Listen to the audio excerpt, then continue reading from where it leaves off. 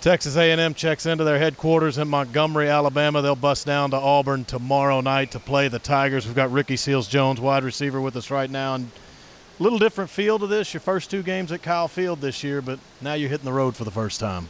Yeah, it's, uh, it's a business trip as always. You know, home or away. You know, we're, we're here to take care of business and uh, get back to Texas. when you look at the Auburn defense on film, what becomes the keys for you in this offense? Uh, they're they're big, they're fast. You know, they're an SEC team, and uh, we just gotta buckle down and and bring our own energy, and uh, we'll be all right. You've played in SEC road venues for a little while. What's your advice to the younger guys that haven't done it yet?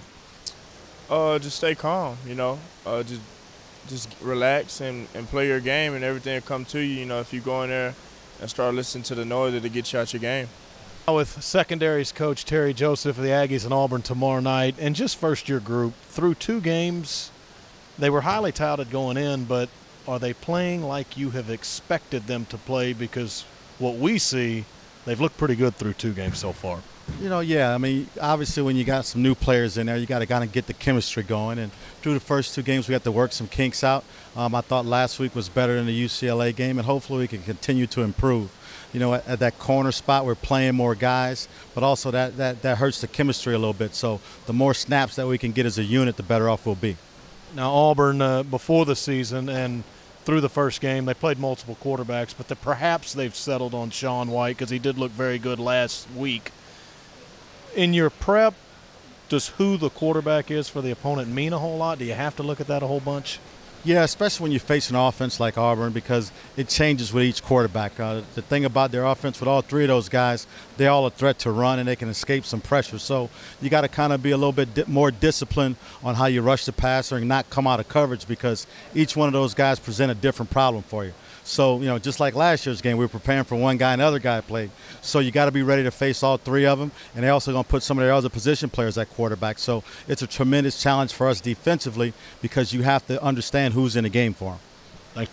Trevor Knight, Aggie quarterback in Montgomery, Alabama on a Friday night. And uh, tomorrow, first road game of the year. Your first two have been in Kyle Field. Any different feel to this, taking the team out on the road and playing in what is expected to be another hostile environment in the SEC? Yeah, you know, it is a little bit different feel. You get on a plane, you have to deal with that, and you're in a different place. Um, but our preparation this week's been awesome. Um, I feel like we've had a really great week of practice um, for an Auburn team that's that's playing a really good football right now. You know, holding the number two team in the country to 19 points the first week. They're a stout defense, and uh, we're excited for the opportunity tomorrow. And then. I don't know if any offense can click after two games. I mean, this is a 12 game season over three months.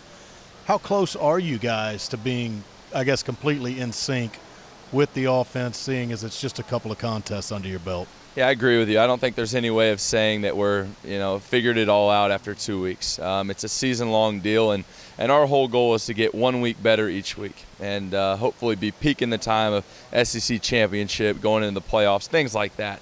Uh, but right now we're focused on one week better, so we want to play better tomorrow than we did last week. Good luck tomorrow night against Tigers. Thank you so much.